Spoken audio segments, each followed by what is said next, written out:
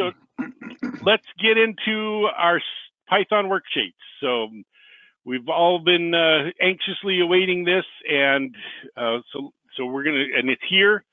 So we're gonna talk about how we're gonna use these. We're gonna show you a few things, um, and I will say right now, right up front, that uh, we're actually impressed. Uh, there's some really great things here, uh, but I will tell you that they're probably about teenage years, maybe early teenage years. So they're and Snowflake is adding and enhancing and fixing and doing things to this just like furiously. So there's a lot of things going on right now, and so uh, you know, stay up on on all the new stuff that's coming along. So first of all, Python worksheets. What are Python worksheets? So just like the SQL worksheets let us do all the SQL in Snowflake, it, with the Python worksheet in Snowsight, they allow us to do things with Python right in Snowpark Python, right in the uh, Snowflake UI um, natively. Um, and so we can, it makes it much, much easier for us to, to build some Python and do, do things like that.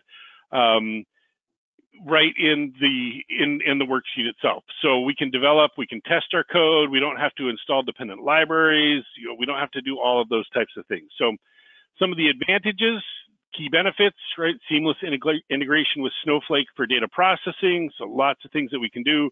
Although I will warn you, and we're going to talk about this a little bit, for this, this is actually going to be a lot of fun um, for all you folks that come from the the SQL data side of things. You know, we've had that discussion before in some of our pro talks.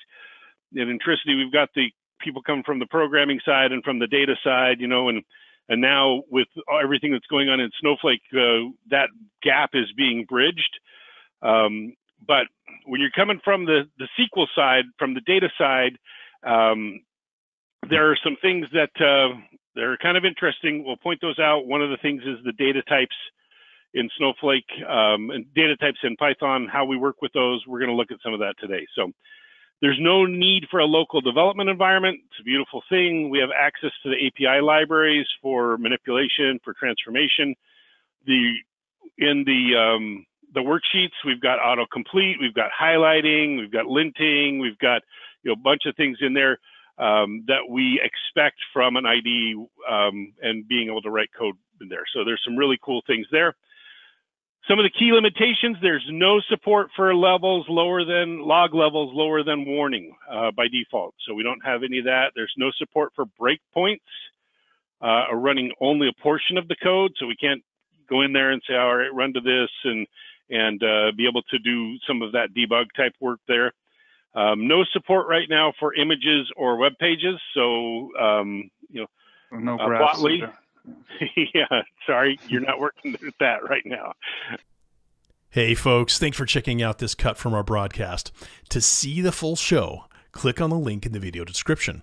Also, check out our Learning Center, which has white papers, events, live streams, and short explainer videos on a wide range of data management topics. And of course, if you like our content, please share it on LinkedIn. That really means a lot to us. Thanks again for checking us out, and we hope to see you in our next broadcast.